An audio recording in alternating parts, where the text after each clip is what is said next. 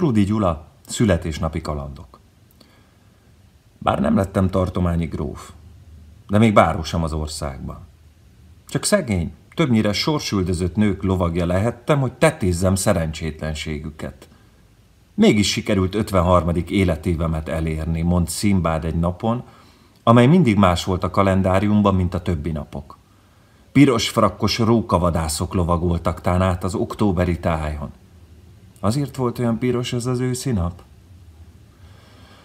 Nézzük csak meg a horoszkópot, hogy mit mutat a további időre nézve. Az embernek az én koromban már a hasznos időbeosztásra kell főként törekedni. Nem bámészkodhatok hiába vörös cipős, taktusra lépkedő hölgy után a Mókus utcában, aki egy fiatal embert vezet a karján, ugyanezért merészel kacérkodni az idősebb úri emberekkel. De nem ácsoroghat cél nélkül ablak alatt sem a függöny megöl babuskálva hangzó női énekre leselkedve. Soha annyi igazsága nem volt a közmondásnak, hogy minden percnek leszakazd a virágát, mint éppen az én időmben. Nem szabad a szívet felesleges izgalmaknak kitenni. Hiába valósággal fárasztani a fantáziát, elérhetetlen nőkkel sétálgatni, regényes gondolataikat követni, belemenni nőies ábrándozásokba, érzelgésekbe, hosszantartó viszonylatokba. Lehetőleg gyorsan le kell bonyolítani a hátralevő üzleteket.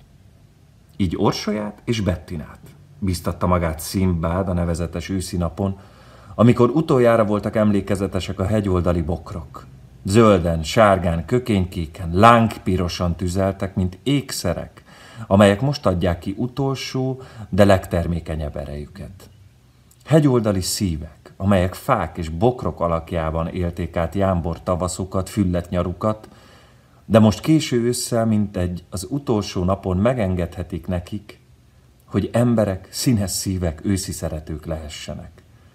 A pókfonál megköti még egy napra a vadgesztenyefa lehullóban lévő levelét, hogy meg ne kopaszodjon egészen, és átvehesse vallomását az ecetfának, hogy egész életében őt szerette.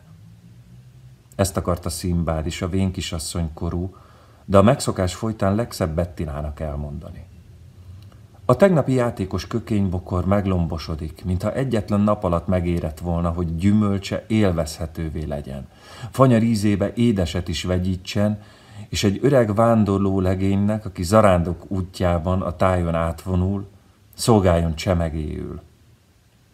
Ezt akarta mondani Orsolyának, aki az árdanövendékek kék ruhájában, bocskorában, vallásosságában, 15 esztendeivel valósággal regényhősnője lett apránként Szimbádnak. Majdnem annyit ábrándozott Orsolyáról, mint valami gonosz démonról, aki a férfiak minden gondolatát lefoglalja a maga részére, amíg él és uralkodni tud. Persze a mesemondás végén ajtófára szegezik denevér módjára a démont is, és az árda növendéket is. Tehát Orsolya és Bettina alakja mutatkozott a horoszkópban, amelyet a napfénynél harsogó természetszínekkel, az elmúlhatatlan élet ábrándjaival pazarul bánó őszi napon Szimbád magának felállított. Orsolya és Bettina. Ez a két egymástól annyira különböző hölgy. Vén kisasszony és zárda növendék van kiszemelve arra, hogy Szimbád életét továbbra is foglalkoztassa. Megcukrosodott tavalyi befőttes üveg az egyik, amelyben tán a dió ízei lesznek megérezhetők az üveg felnyitása után. Míg a másik csak zöld füge szimbádorrán, amelynek ízeit szentelt vízen, ostján, szent éneken át kell megtalálni. De ott bizonyosan valamely szenvedélyes íz lelhető, mint azt már Szimbád a legártatlanabb és legfehérebb nőknél tapasztalhatta. Lehet, hogy az ördög éppen a zöld fügébe bújtatta azt a szerelmi mámort, amely öl. De nem baj, mond Szimbád, felkészülődve még a víziókra is, amelyek bizonyára körülveszik az árda növendékeket, ha a szerelmet kellő adagolással, mint egy bölcs patikárius beadogatja nekik.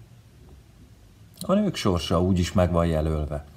Inkább én legyek megrontójuk, mint ők gyötörjék meg gyengülő életemet. Így magában, félre, mint a színdarabban mondták, Szimbád, amíg a vénkisasszony Bettina, egy kebleiben legérzékenyebb, alig hervadó, de már dércsípett, asszuszőlő édes hölgy őszvirág csokrát Szimbádnak átnyújtotta, mondván, hogy már azért is kívánja, hogy hosszú életet éljen, mert Szimbád ígéretet tett, hogy férhez adja. Adjon már férhez, ismételte Bettina ezen a napon is követelőzve, mert feltette a hajósról, hogy annak az is lehetséges. Szimbád a jó barátság őrve alatt megcsókolta Bettina húsos nyakát, megtapogatta izmos karját, és kijelentette, hogy Bettina valóban megérett arra, hogy férhez adassék. Szimbád szavaitól vanília illatú lett Bettina.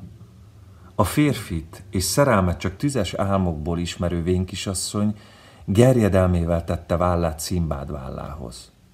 És forrón, mint egy vidéki kasszírnő, de amellett pontosan, körülményesen, mint egy fővárosi rajztanárnő, leírta azt a férfit, akihez feleségül menne. Körülbelül olyannak kellene lenni, mint Szimbát húsz évvel ezelőtt volt, amikor kislánykorában volt szerencséje megismerhetni őt, és Szimbád tóparti háza körül ácsorgott, mint annyi más leány. De a hajós akkoriban nem törődött a kisleányokkal. Keleti királynők elhízott asszonyságuk után nevezett. Mint akkor volt Szimbád, mikor szerelmes voltam önbe, ismétlé pontosan a rajztanárnő, és születésnapi virágait úgy állította fel Szimbád szobájában, hogy az mindig szem előtt lehessen. Szimbád elnézegette a szobában motoszkáló vén kisasszonyt, és megállapította magában, hogy ha nem ismerni családi diplomáját, azt hihetné róla, hogy egyszerű takarítónő, aki a takarítónők örök hajlandóságával mindig rendelkezésére áll a szobaúrnak, akár bál után, akár szerelmi bánatában. De diplomája van, mintette magát Szimbád. Még sok ceremóniám lesz vele éppen ezért. Meg kell tehát fontolnom, hogyan tegyem meg neki szerelmi ajánlatomat, hogy annak sikere legyen. Szépé kell varázsolnunk eljövendő szerelmi jelenetünket.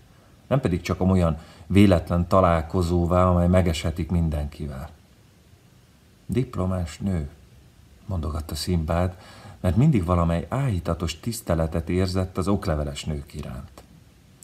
Bettina meghallgatta Szimbád tervét elcsábításáról, és mindenben helyeselte azokat a ceremóniákat, amelyek az eseménnyel kapcsolatban szükségesek. Ott szeretném, ha történne velem valami ott a tóparton, ahol ön fiatal és hódító ember volt, mond Bettina. De addig is váltsa be ígéretét. Adjon férhez, mert istok úgyse megecetesedem itt a nyakán. Bettina iskola illatot hagyott maga után, mint egy tanárnőhöz illik. Midőn a születésnapi üdvözlők között megérkezett a tervbe vett második hölgy, Orsolya.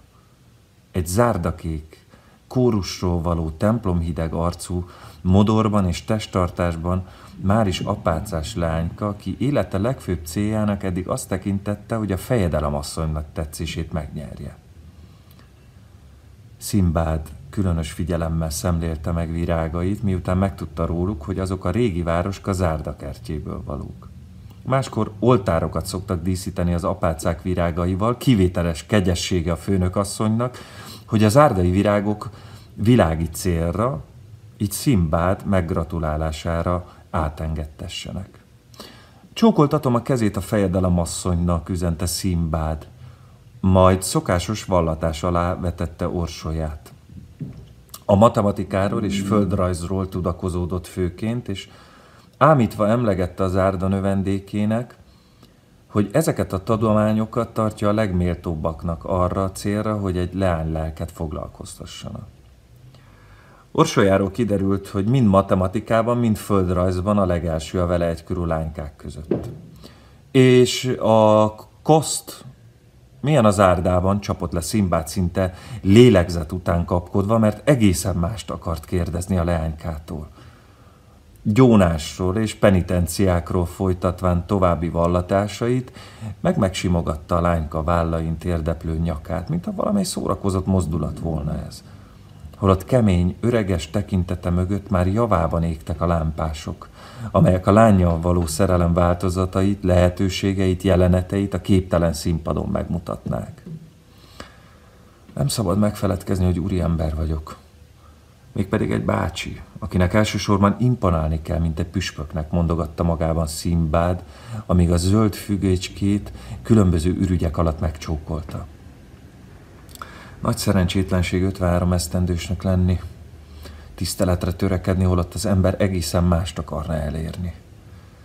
De mondd, ó, mondd nekem, hogyan volna az elérhető, hogy ez az apáca növendék valóban szívből megöleljen egy szürke főt, amelynek bal oldalán már hálósodnak az erek, messzesednek a véredények, durvulnak a nemes arcvonások, a ráncok hosszú vonalakban mendegélnek, mint végtelen útjai a könnyeknek, amelyeket majd akkor sírunk, midőn rövid idő múlva meg kell halni. Mondd te álomtalan, tűztelen játékok felett érzékenykedő ifjúság. Megértenéd-e, ha vágyaimat feltárnám előtted, mint a pokol kapuját? Meg tudnád-e fogni két kis kezedben a szíveket, mint egy öreg varjút? Tudnád-e tisztelni és hevülten szeretni egyszerre Szimbád bácsit?